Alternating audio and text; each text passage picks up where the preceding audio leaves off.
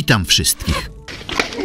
Zastanawiacie się, którego bohatera wybrać na początku gry Raid Shadows Legends, bo jest ich aż czterech. I nie chcecie popełnić błędu, prawda?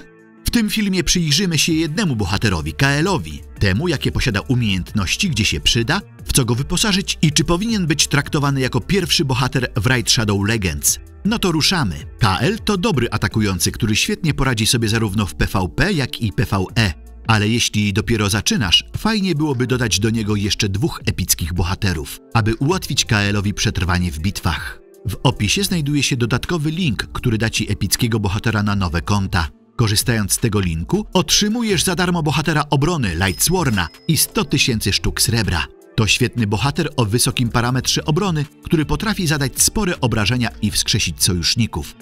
Za dobicie konta tym bohaterom do poziomu 25 otrzymasz drugiego bohatera ataku Lady Quillin oraz zestaw zasobów do szybkiego rozwoju konta. Po rejestracji i ukończeniu samouczka wprowadź kod promocyjny Daspiel23 Honoru, który da Ci kolejnego epickiego bohatera Honoru. Ponadto po 7 dniach aktywnego logowania możesz otrzymać na swoje konto epickiego bohatera wsparcia Sharman. Wraz z tym bohaterem otrzymujesz również zestaw kradzieży życia. Pospiesz się, ta oferta nie potrwa długo. W rezultacie oprócz Kaela na starcie otrzymujesz również tanka Lightsworna atakującego honoru i bohaterkę Sharman na 7 dni z zestawem artefaktów. Dodatkowo dla tych, którzy osiągną 25 poziom konta, czeka bohaterka Lady Quillin i aż 500 tysięcy srebra za awans. To bardzo efektowny bonus dla nowych kont, który polecam wszystkim. Przyjrzyjmy się więc bohaterowi dzisiejszego filmu. Kael Wright to rzadki bohater, który może pojawić się w niebieskich lub fioletowych odłamkach. Lub możesz go zdobyć po treningu. Nie możesz go zdobyć, jeśli nie wybrałeś go na początku. Jeśli chodzi o oceny użytkowników, ma najwyższe wyniki w rozdziałach kampanii, labiryncie Minotaura, mateczniku Smoka, lochach szefa klanu, a nawet na arenie, kiedy atakuje. Oceny użytkowników nie kłamią. Bohater jest GOAT. Nie ma oceny poniżej 4 punktów. Okazuje się, że nie ma słabych trybów. Najlepszym trybem, w którym KL może się pokazać jest Lord Demon. Zadaje ogromne szkody swoimi truciznami i innymi atakami. Taka jest jego natura. Kael jest bohaterem żywiołu ducha, co oznacza, że ma przewagę nad przeciwnikami z żywiołem magii, ale jest słabszy od bohaterów żywiołu siły. Zanim przystąpisz do walki przy wyborze bohaterów, spójrz na żywioły, które posiada wróg. Przyjrzyjmy się teraz umiejętnościom. Pierwszy atak, ciemny grom, atakuje wroga z prawdopodobieństwem 80%. Nakłada 2,5% kary trucizny na dwa ruchy. Obrażenia zależą od parametru ataku. Drugim atakiem jest kwaśny deszcz. Jest to atak na wszystkich wrogów ze zwiększoną szansą na trafienie krytyczne o 15%. Dodatkowo wypełnia swoją skalę ruchu o 25% za każdego zabitego wroga. Trzecia umiejętność zdezintegruj. Atakuje losowe cztery cele i z 40% prawdopodobieństwem nakłada 5% trucizny na dwa ruchy. Niezwykle przydatna umiejętność do masowego rażenia wroga. Dodatkowo zapewnia również aurę, która zwiększa zdrowie sojuszników we wszystkich bitwach o 15%. W jakie artefakty powinien być wyposażony KL? To bohater atakujący, który musi tylko mieć wzmocniony atak i szybkość. Lepszym rozwiązaniem jest postawienie sześciu przedmiotów na umiejętność ataku. Lub jeśli chcesz, aby bohater ruszył pierwszy w rundzie, możesz umieścić cztery elementy zestawu na atak i dwa elementy na szybkość. Jednak jest to opcjonalne. Podczas przejścia pierwszego rozdziału będziesz miał zestaw do ataku, a następnie po kampanii w Pałacu Arawi otrzymasz dwa przedmioty na szybkość. Potrzebne są rękawice z dodatkowym parametrem szansy na trafienie krytyczne. Buty należy nosić z głównym parametrem prędkości. Jeśli chodzi o cechy, głównym parametrem tego bohatera jest atak. W przypadku drugiej cechy zwiększamy prędkość i szanse na trafienie krytyczne, aby uzyskać większe obrażenia. Potem kolej jest na dokładność dla trucizn.